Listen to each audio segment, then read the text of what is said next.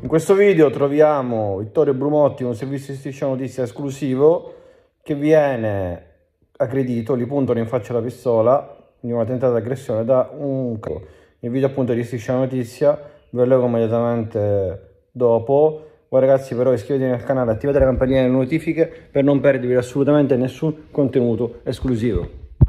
Lascia! Lascia! Lascia! Lascia! Vai, se fuoco! Lascia! Vai! Lascia! Vai, se fuoco! Lascia!